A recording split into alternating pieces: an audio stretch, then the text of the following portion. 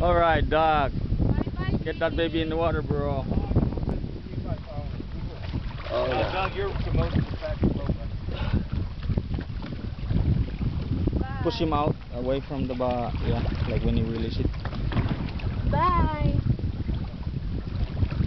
Ay, natawag dog! Dog! Save the towel.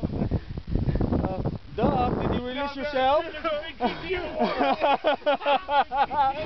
how you do. Alright. After you're hot and tired from fishing, you release the fish and then get cool in the beautiful Palau water. Peter, that's how Doc releases the GT.